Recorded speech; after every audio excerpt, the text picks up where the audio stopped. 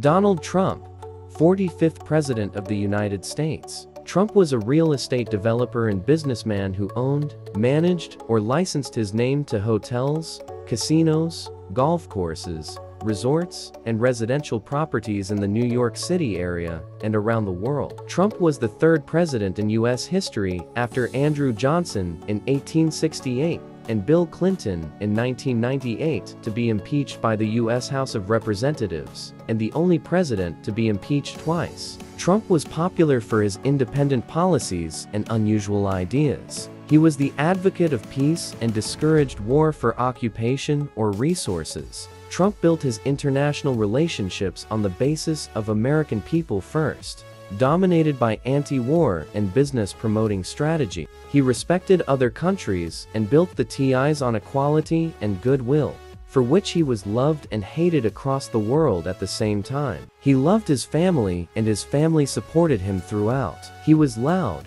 he was blunt, he was impulsive, for which he received a lot of bashing by the media, but nothing could change him. Like it or not, this is Donald John Trump.